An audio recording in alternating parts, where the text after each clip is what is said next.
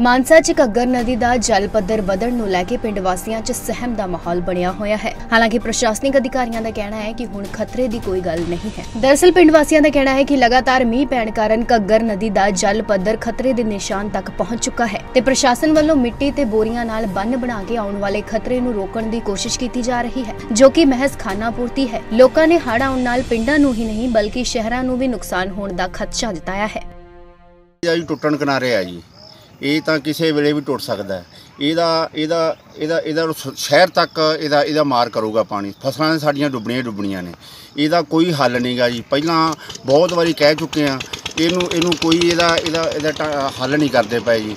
ਸਿਰਫ ਆ ਗੱਟਿਆਂ ਨਾਲ ਰੁਕਿਆ ਮਾੜਾ ਮੋਟਾ ਇਹ ਤਾਂ ਕਿਸੇ ਵੇਲੇ ਵੀ ਟੁੱਟ ਸਕਦਾ ਹੈ ਪ੍ਰਸ਼ਾਸਨ ਕਹਿ ਰਿਹਾ ਹੈਗਾ ਵੀ ਸਾਡੇ ਅਸੀਂ ਪੁਖਤਾ ਪ੍ਰਬੰਧ ਕੀਤੇ ਹੋਏ ਆ ਕਿ ਕਿਸੇ ਕਿਸਾਨ ਨੂੰ ਡਰਨ ਦੀ ਲੋੜ ਨਹੀਂ ਕਿਤੋਂ ਨਹੀਂ ਟੁੱਟੇਗੀ। ਕੋਈ ਨਹੀਂ ਜੀ ਇਹ ਮਾੜਾ ਜਿਹਾ ਪਾਣੀ ਜਾਂ ਬਾਰਿਸ਼ ਜ਼ਿਆਦੀ ਹੋ ਜਾਂਦੀ ਆ ਇਹ ਕਿਸੇ ਵੇਲੇ ਵੀ ਟੁੱਟ ਸਕਦਾ ਹੈ ਜੀ। ਇਹਦਾ ਇਹਦਾ ਕੋਈ ਹੈ ਪ੍ਰੋਪਰ ਹੈ ਨਹੀਂ ਗੱਟੇ ਤਾਂ ਕਿਸੇ ਵੇਲੇ ਵੀ ਖੁਰ- ਗਏ ਤੇ ਟੁੱਟੂਗਾ ਜੀ ਜੀ। ਇਸ ਤੋਂ ਪਹਿਲਾਂ ਕਿੰਨੇ ਕੁ ਵਾਰ ਟੁੱਟੀ ਹੈ ਤੇ ਕਿੰਨੇ ਕੁ ਵਾਰ ਤੁਸੀਂ ਤੁਹਾਨੂੰ ਇਹ ਦਾ ਜਿਹੜਾ ਫਸਲਾਂ ਦਾ ਖਰਾਬ ਹੋਣ ਦਾ ਨੁਕਸਾਨ ਝੱਲਣਾ ਪੈਗਾ ਇਹ ਤਾਂ ਜੀ ਬਹੁਤ ਜ਼ਿਆਦਾ ਬਹੁਤ ਜ਼ਿਆਦਾ ਇਹਦਾ ਇਹਦਾ ਇਹਦਾ ਟੁੱਟੂਗਾ ਤੇ ਇਹਦਾ ਬਹੁਤ ਜ਼ਿਆਦਾ ਨੁਕਸਾਨ ਹੋਊਗਾ ਜੀ। ਇਹ ਤਾਂ ਸ਼ਹਿਰ ਤੱਕ ਪਾਣੀ ਜਾਊਗਾ ਜੀ ਇਹਦਾ। ਫਸਲਾਂ ਦਾ ਤਾਂ ਨੁਕਸਾਨ ਹੋਣਾ ਹੀ ਹੋਣਾ ਜੀ। ਪਿੰਡ ਪਿੰਡ ਨੂੰ ਵੀ ਨੁਕਸਾਨ ਹੈ ਜੀ। ਪਿੰਡ ਵੀ ਆ, ਚਾਰ ਪਿੰਡ ਸਾਡੇ ਇਹ ਮਾਰੇ ਠਾ ਜਾਣਗੇ ਜੀ। ਫੂਸ ਮੰਡੀ ਸਾਧੂ ਵਾਲਾ ਸਰਦੂਲਗੜ੍ਹ, ਇਹ ਸਾਰੇ ਸਾਰੇ ਡੁੱਬਣਗੇ ਜੀ। ਇਹਦਾ ਜਿੰਨਾ ਚਿਰ ਇਹਦਾ ਇਹਦਾ ਪੱਥਰ ਦਾ ਕੋਈ ਹੱਲ ਨਾ ਹੋਇਆ ਉਹਨਾਂ ਚਿਰ ਨਹੀਂ ਇਹ ਰੁਕਦਾ ਜੀ ਇੱਥੇ ਸਾਨੂੰ ਪੂਰਾ ਖਤਰਾ ਲੱਗਦਾ ਹੈ ਪਿੰਡ ਨੂੰ ਪੂਰੀ ਡਰ ਟੁੱਟਣ ਦਾ ਡਰ ਹੈ ਜੀ ਤੇ ਅਸੀਂ ਨਰੇਗਾ ਵਾਲੇ ਬੰਦੇ ਹਾਂ ਜੀ ਜਿੰਨਾ ਕੋ ਸਾਡੇ ਤੋਂ ਹੁੰਦਾ ਸੀ ਉਹਨਾਂ ਕੋ ਕਰੀ ਜੰਨੇ ਜੀ। ਤੇ ਇੱਥੇ ਕੋਈ ਵਿਵਸਥਾ ਨਹੀਂ ਹੈਗੀ ਜਿੰਨਾ ਕੋ ਸਾਡੇ ਤੋਂ ਕੰਮ ਹੁੰਦਾ ਸੀ ਉਹਨੂੰ ਕਰੀ ਜੰਨੇ ਜੀ। ਕਿਹੜਾ ਪਿੰਡ ਹੈ ਤੁਹਾਡਾ? ਸਾਡਾ ਪਿੰਡ ਭੱਲਣਵਾੜਾ ਜੀ।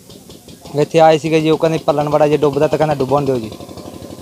ਤੇ ਆ ਕੇ ਗੇੜਾ ਮਾਰ ਕੇ ਭੱਗ ਜਾਂਦੇ ਨੇ ਜੀ ਅਫਸਰ ਜੀ ਸਰਕਾਰੀ। ਖੇਤਾਂ ਨੂੰ ਤਾਂ ਪੂਰਾ ਹੀ ਡਰ ਹੈ ਜੀ। ਇਹਨਾਂ ਨੂੰ ਦੋ ਤਿੰਨ ਵਾਰ ਪਹਿਲਾਂ ਹੀ ਮਹਿਕਮੇ ਨੂੰ ਦੱਸਿਆ ਗਿਆ ਇਹ ਵਾ- ਇਸ ਦੇ ਬਾਰੇ, ਡਰੇਨ ਮਹਿਕਮੇ ਨੂੰ ਜੀ। ਪਰ ਇਹਨਾਂ ਨੇ ਪਹਿਲਾਂ ਕੁਝ ਨਹੀਂ ਕੀਤਾ। ਹੁਣ ਠੀਕ ਪ੍ਰਸ਼ਾਸਨ ਆ ਰਿਹਾ। ਕੁਝ ਅੱਗੇ ਨਾਲੋਂ ਠੀਕ ਹੈ, ਪ੍ਰਬੰਧ ਹੋਏ ਨੇ। ਬੰਨ ਅੱਗੇ ਨਾਲੋਂ ਥੋੜਾ ਮਜ਼ਬੂਤ ਹੈ ਜੀ। ਵੈਸੇ ਕੋਈ, ਇਹਦਾ ਇਹੀ ਕਹਿੰਦੇ ਵੀ ਇਹਦਾ ਕੋਈ ਪੱਕਾ ਪ੍ਰਬੰਧ ਕੀਤਾ ਜਾਵੇ, ਜਿਵੇਂ ਪੱਥਰ ਪਾ ਕੇ ਇਹਦਾ ਪ੍ਰਬੰਧ ਕੀਤਾ ਜਾ ਸਕਦਾ ਹੈ। ਇਹ ਜੇ ਨਾਲੀ ਜਦੋਂ ਲੈਂਦੀ ਇਹਨੂੰ ਪੱਥਰ ਜਿਵੇਂ ਪਹਿਲਾਂ ਉੱਥੇ ਮੋੜ ਤੇ ਪਾਇਆ ਗਿਆ, ਉਸੇ ਤਰ੍ਹਾਂ ਇਹਨੂੰ ਪੂਰਾ ਪੱਥਰ ਨਾਲ ਕਵਰ ਕੀਤਾ ਜਾਵੇ। ਫਿਰ ਹੀ ਇਹਦਾ ਕੋਈ ਪੱਕਾ ਹੱਲ ਹੈ। ਹੁਣ ਹੁਣ ਕਿਸ ਤਰ੍ਹਾਂ ਕਵਰ ਕਰ ਰਹੇ ਨੇ? ਹੁਣ ਤਾਂ ਜੀ ਗੱਟਿਆਂ ਨਾਲ ਹੀ ਕਵਰ ਕਰ ਰਹੇ ਆ ਮਿੱਟੀ ਪਾ ਕੇ ਗੱਟੇ ਪਾਏ ਜਾ ਰਹੇ ਆ। ਕਿੰਨੇ ਕੁ ਵਰਕਰ ਲੱਗੇ ਹੋਏ ਨੇ ਜੀ? ਵਰਕਰ ਤਾਂ ਨਰੇਗਾ ਲਾ ਰਹੀ ਹੈ ਅਸੀਂ। ਬਾਕੀ ਠੇਕੇਦਾਰ ਦੇ ਨੇ 10 12 ਬੰਦੇ ਜ਼ਿਆਦਾ ਤਾਂ ਨਰੇਗਾ ਹੀ ਪਿੰਡ ਦੀ ਕੰਮ ਕਰ ਰਹੀ ਨਾਲ ਹੀ। ਜੋ ਅਸੀਂ ਪੰਚਾਇਤ ਵੱਲੋਂ ਦਿੱਤੀ ਹੋਈ ਨਰੇਗਾ ਇਹਨਾਂ ਨੂੰ ਦੂਜੇ ਪਾਸੇ ਐਸਡੀਐਮ ਲਤੀਫ ਅਹਿਮਦ ਦਾ ਕਹਿਣਾ ਹੈ ਕਿ ਉਹਨਾਂ ਵੱਲੋਂ ਸਥਿਤੀ ਦਾ ਜਾਇਜ਼ਾ ਲੈ ਕੇ ਪੁਖਤਾ ਪ੍ਰਬੰਧ ਕੀਤੇ ਜਾ ਰਹੇ ਨੇ ਤੇ ਪਾਣੀ ਦਾ ਪੱਧਰ ਵੀ ਘਟ ਰਿਹਾ ਹੈ ਜੋ ਕਿ ਰਾਹਤ ਦੀ ਖਬਰ ਹੈ। ਟੋਟਲੀ ਸੇਫ ਹੈ। ਸਾਰਾ ਇੱਕ ਤੇ ਭੰਨਣ ਵਾਲੇ ਸਿਰਫ ਚਾਂਸ ਲੱਗਦੇ ਸੀਗੇ ਵੀ ਉੱਥੇ ਸ਼ਾਇਦ ਪਾੜ ਪੈ ਸਕਦਾ ਹੈ। ਉੱਥੇ ਡਰੇਨੇਜ ਡਿਪਾਰਟਮੈਂਟ ਨੇ ਜੰਗਾਂ ਦੇਖ ਕਰਕੇ ਉਹਨੂੰ ਮਤਲਬ ਕੰਟਰੋਲ ਅੰਡਰ ਕੰਟਰੋਲ ਆ ਗਿਆ ਸਾਰਾ ਪਾਣੀ ਵੀ ਹੁਣ ਘਟ ਰਿਹਾ। ਕੱਲ ਸੀਗਾ ਵੀ ਉੱਪਰ ਰਿਹਾ ਤਕਰੀਬਨ 20 ਫੁੱਟ ਤੇ 4 ਇੰਚ ਦੇ ਨੇੜੇ। ਤੇ ਹੁਣ ਇਹ 2 ਇੰਚ ਮਾਈਨਸ ਹੋ ਗਿਆ 20 ਤੋਂ। 19 ਫੁੱਟ 10 ਇੰਚ ਗਿਆ। ਪ੍ਰਸ਼ਾਸਨ ਵੱਲੋਂ ਹਰੇਕ ਮਹਿਕਮੇ ਨਾਲ ਹੁਣ ਵੀ ਮੈਂ ਮੀਟਿੰਗ ਕੀਤੀ ਹੈ ਤੇ ਦੋ ਦਿਨ ਪਹਿਲਾਂ ਵੀ ਮੀਟਿੰਗ ਕੀਤੀ, ਸਾਰੇ ਮਹਿਕਮੇ ਨੂੰ ਬੁਲਾ ਕੇ ਸਾਰੇ ਬੰਦੇ ਡਾਕਟਰਸ ਡਰੇਨੇਜ ਡਿਪਾਰਟਮੈਂਟ ਸਾਡੇ ਰੈਵਨਿਊ ਡਿਪਾਰਟਮੈਂਟ ਪੰਚਾਇਤੀ ਡਿਪਾਰਟਮੈਂਟ ਜਿੰਨੇ ਵੀ ਮਹਿਕਮੇ ਸਰਕਾਰ ਦੇ ਹੈਗੇ ਨੇ, ਜਿਨ੍ਹਾਂ ਜਿਹਦਾ ਦਾ ਜੋ ਜੋ ਵੀ ਰੋਲ ਉਹਨਾਂ ਨੂੰ ਦਿੱਤਾ ਗਿਆ, ਉਹ ਸਾਰੇ ਲਈ ਪੂਰੇ ਦੇ ਸਾਰੇ ਸਾਰੇ ਤਿਆਰ।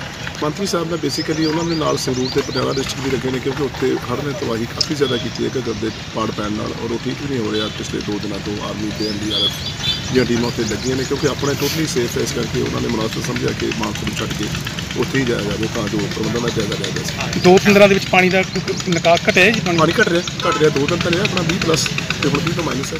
ਬੇਸ਼ੱਕ ਪ੍ਰਸ਼ਾਸਨਿਕ ਅਧਿਕਾਰੀਆਂ ਵੱਲੋਂ ਸਥਿਤੀ ਨੂੰ ਸੰਭਾਲਣ ਦੀ ਕੋਸ਼ਿਸ਼ ਕੀਤੀ ਜਾ ਰਹੀ ਹੈ ਪਰ ਇੱਥੇ ਸਵਾਲ ਇਹ ਪੈਦਾ ਹੁੰਦਾ ਹੈ ਕਿ ਪ੍ਰਸ਼ਾਸਨ ਅਜਿਹੀਆਂ ਸਥਿਤੀਆਂ ਦੇ ਪੈਦਾ ਹੋਣ ਤੋਂ ਪਹਿਲਾਂ ਕੁੰਭਕਰਨ ਦੀ ਨੀਂਦ ਕਿਉਂ ਸੁੱਤਾ ਰਹਿੰਦਾ ਹੈ ਤੇ ਕਿਉਂ ਮੁਸੀਬਤ ਤੋਂ ਪਹਿਲਾਂ ਹੀ ਬਣਦੇ ਪ੍ਰਬੰਧ ਨਹੀਂ ਕਰਦਾ? ਮਾਨਸਾ ਤੋਂ ਅਮਰਜੀਤ ਜਗਬਾਣੀ ਟੀਵੀ।